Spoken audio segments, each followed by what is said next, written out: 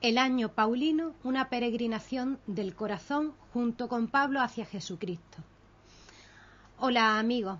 este ha sido uno de los mensajes que nos ha enviado Benedicto XVI en su tradicional encuentro de Navidad con los miembros de la Curia Romana, en la que hizo un repaso al año que ha terminado. Dice el Papa que ha sido rico en miradas retrospectivas a fechas importantes de la historia reciente de la Iglesia, pero rico también en acontecimientos que traen señales de orientación para nuestro camino hacia el futuro. De esto primero, de las efemérides, recordó la que, de que hace 50 años moría el Papa Pío XII. Hace 50 años era elegido Papa Juan XXIII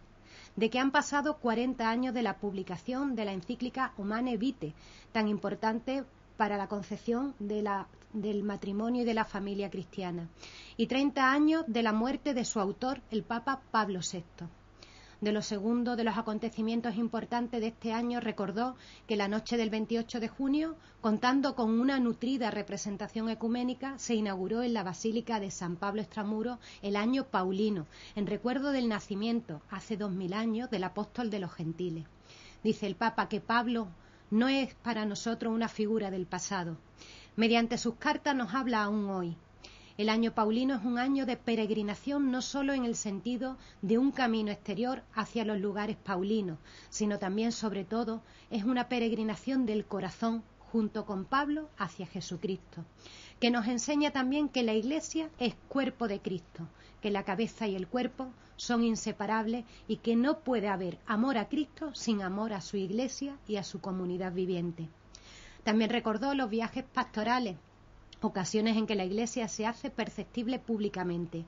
con ella la fe y por ello al menos la pregunta sobre Dios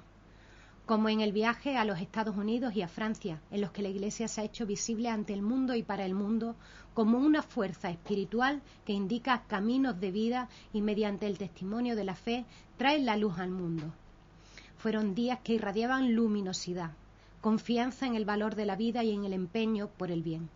Pero lo que se detuvo con más detenimiento fue en el análisis de la Jornada Mundial de la Juventud en, en Sydney y en el Sínodo de los Obispos, que por su extensión vamos a ver en los próximos encuentros. Por eso no me falles, te espero aquí en Diócesis TV.